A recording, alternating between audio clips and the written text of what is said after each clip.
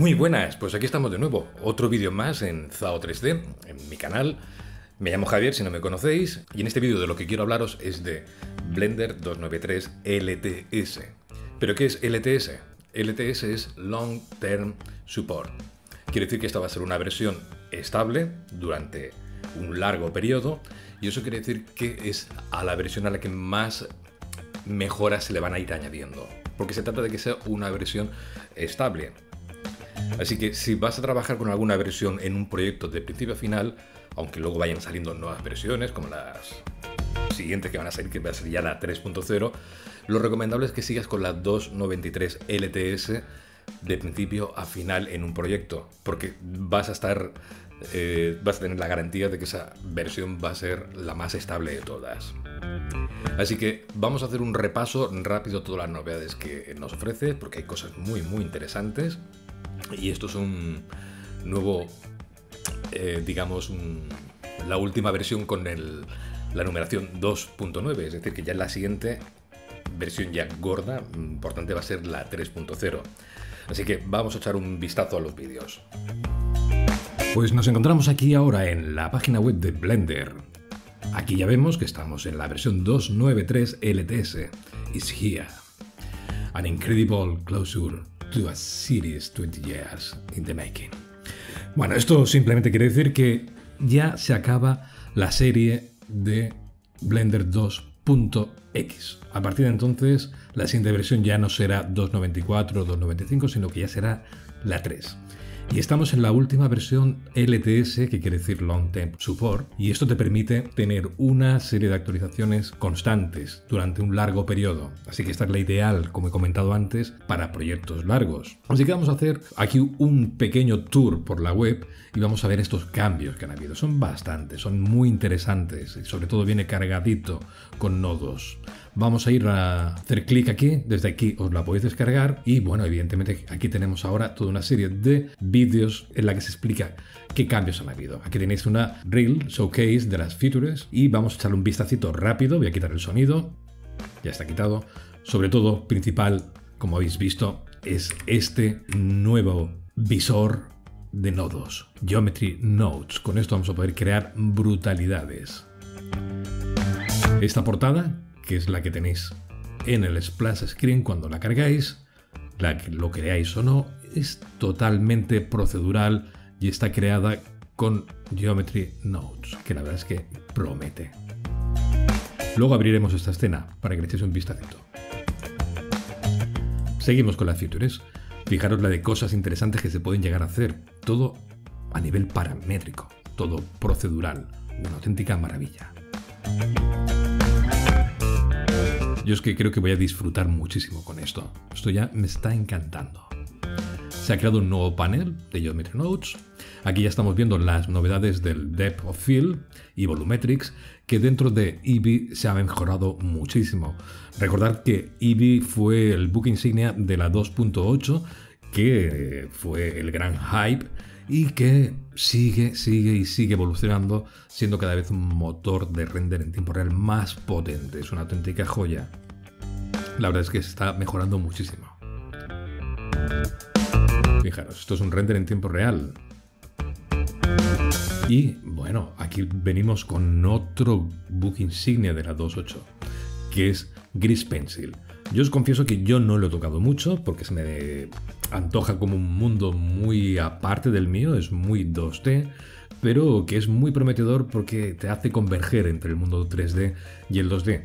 Y además, bueno, es tentador también porque lo tienes ya directamente en Blender, así que es bastante accesible y realmente se están haciendo una serie de mejoras impresionantes a nivel de modificadores de precisión, interpolación, o sea, auténticas joyas. Fijaros también este también nuevo modificador, que también es una maravilla, que te va a permitir crear líneas de contorno en geometría 3D con Gris Pencil. Y así podemos crear estos blueprints tan interesantes. La verdad es que tengo muchísimas ganas de probarlo, la verdad es que me está tentando muchísimo. Sigamos con las novedades. Dentro del Sculpt, que tampoco lo he tocado mucho, soy de modelado tradicional, pero la verdad es que cada vez que ves novedades y que nuestro amigo Pablo Dobarro, al que quiero y odio igualmente, nos crea estas nuevas herramientas con mejor workflow, mejor rendimiento y cada vez más potente. Esto es una auténtica maravilla. Ah, se ha hecho mucho hincapié en esta nueva última versión en las máscaras. Y aquí tenemos ahora máscaras que pueden ser procedurales con texturas. Se crearán también muchos nodos, loops, etc. Pero muy muy interesante. Esto ahora mismo no sé lo que es, pero me está flipando muchísimo. Esto es una auténtica maravilla. Yo estoy ahora flipando en colores. Qué auténtica joya. Y amigos, estamos hablando de un software open source al que todo el mundo tiene acceso. Así que, the freedom to create. La verdad es que, me encanta, cada vez estoy más alucinado y más contento con, con Blender. Evidentemente aquí tenemos ahora este vídeo que es fantástico, es genial, que es las nuevas características de Blender en menos de 5 minutos echarle un vistazo. Os dejaré en, los, en, la, descripción los enlaces y si no, pues lo buscáis vosotros mismos, es muy fácil de encontrar. Y bueno, como comentaba antes, Geometry Nodes. Con Geometry Nodes aquí vamos a poder crear una de de objetos y geometría procedural en la que, bueno, prácticamente el infinito es el límite, tu imaginación. Todo esto me recuerda muchísimo a cuando yo utilizaba en Softimage, utilizaba ICE. Ice es una auténtica maravilla, es una pena que Softimage haya muerto, lo hayan matado, pero es una alegría que este proyecto de Geometry Nodes se esté llevando a cabo dentro de, de Blender, así que me toca disfrutar. Lo que sí que me toca también, y es lo que yo pensamos de una vez, que necesito una nueva vida para aprender todo lo nuevo, pero es que es, que es maravilloso, es que a mí me encanta aprender. Aprender y es que es tan tentador todo lo que se ve aquí, que ¿Qué le vamos a hacer? Pues me toca estudiar, clavar codos y empezar a aprender Geometry Nodes, que es una auténtica joya, que se puede hacer prácticamente de todo. Y estamos empezando, es la primera, digamos, inclusión de Geometry Nodes dentro de Blender, pero que promete muchísimo. También algo interesante es que todo se va a convertir en procedural. Las primitivas, vamos a poder crear primitivas, prácticamente todas las primitivas, con una gran ventaja. No sé si os ha pasado, si venís de otro software, que en Blender cuando creáis cualquier primitiva, en el momento que ya muevas el ratón, ya no te da tiempo a cambiar los parámetros. De esta forma, al ser procedural y mantenerse toda la información en nodos, vamos a poder acceder siempre a las características, a los parámetros de esta geometría. Así que esto pinta, pinta genial. Más todos estos nodos, es decir, que esto irá creciendo cada vez más. Esto al final va a tener una pinta de Houdini que alucinas. Fijaros, con este edificio que se construye proceduralmente, ¿vale? Con todos estos parámetros, o sea que es una auténtica maravilla. Lo he dicho ya que es una auténtica maravilla, posiblemente. Happy Accidents, Meet Your New Best Friend. Bueno, bueno, esto es una auténtica maravilla. Aquí tenemos un enlace para aprender, learn, download demo files. Es decir, que aquí nos vamos a meter y vamos a hincar codo para aprender esta nueva maravilla. Aquí tenéis la escena de nodos para la splash screen que está hecha por Erindale que os recomiendo que os lo bajéis lo podéis bajar esta escena desde aquí vamos a bajarla bueno yo ya la tengo bajada así que la voy a abrir vamos a abrir Blender y vamos a abrir esta maravillosa escena que es una auténtica locura. Todo nodos. Aquí acaba de explotarme la cabeza, creo que me he lesionado, pero fijaros todos los nodos que tenemos aquí para generar todo esto que vemos aquí de forma procedural. La verdad es que todavía no me ha dado tiempo ni de meterle mano a esto, pero es que tengo unas ganas de meterle mano que es para flipar. ¿Vale? Fijaros la de nodos que hay aquí. Esto es impresionante. Y todo va a parar aquí. ¿Vale? Aquí tenéis un texto explicativo. Y os animo a que abréis la escena y la descarguéis. Y a jugar con ella. Sigamos con novedades. Más novedades es Cold Span, que lo hemos comentado en el vídeo de Features. Aquí se ha hecho mucho hincapié en las máscaras, en la forma de generarse, creando loops, patrones, texturas para ser usadas como máscaras, así que vamos a utilizar una textura procedural ejemplo, este noise y crear estas texturas tan orgánicas. Estas texturas, quiero decir, que van a ser las que vamos a utilizar como máscaras. O sea, una auténtica joya. ¿He dicho joya también? Bueno, joya, maravilla. La verdad es que estoy realmente emocionado con todo lo que nos está ofreciendo Blender 293. También se pueden crear máscaras de una forma mucho más sencilla, por ejemplo en objetos aislados, Geometry Islands. También va a tener muchísima más, mejor rendimiento. Así que esto está mejorando a pasos agigantados y vamos por muy muy buen camino. Tenemos esta imagen aquí tan preciosa que vemos aquí, que es lo que he comentado de Gris Pencil, en la que se incluye un nuevo modificador para que podamos añadir líneas de contorno a nuestros, a nuestros objetos, a nuestras geometrías, tal y como vemos aquí. Es una auténtica joya. Esto me, creo que me va a encantar. Voy a probarlo en cuanto pueda. Y aquí pues sí, la gente está emocionada con el nuevo Gris Pencil. Muy buen trabajo el equipo de Gris Pencil. Es una auténtica maravilla. Y además también se ha incluido esta novedad que es interpolar, la interpolación. Ahora podemos animar entre un frame y otro interpolando, es decir, ya no hace falta que estemos creando cada fotograma, fotograma, fotograma, sino que podemos interpolar. O sea que esto es genial a nivel de productividad y mucho más sencillo. Esto, muy bien, muy bien, genial. Una cosa muy interesante que me ha encantado, que es el de que se puede importar SVG, ficheros dentro de Gris Pencil, se pueden exportar también, con lo cual vamos a poderlo abrir con cualquier programa que te permita abrir objetos vectoriales. Ya puede ser Inkscape, que es un proyecto open source muy interesante, o Affinity Designer, o incluso Adobe Illustrator. Mientras podamos abrir SVG, vamos a poder abrir estos diseños. También se puede exportar a PDF, y tal y como dice aquí, soporta animaciones, creando una página por keyframe. Genial para storyboards. El relleno también se ha mejorado mucho. Antes tienen un problema de que según qué zonas eran muy pequeñas no se termina de rellenar y ahora se rellena a la perfección. Y además, todavía más en Gris Pencil. Se tendría que echarle un vistazo. La verdad es que me sigue tentando. Lo voy a tocar más de una vez el Gris Pencil. Eevee, Eevee, más cambios en Eevee. Aquí podemos ver que ahora las volumétricas son mucho más rápidas, más estables y aparte soporta Soft Shadows y Area Lights. Fijaros que maravilla. Blender 292, Blender 293.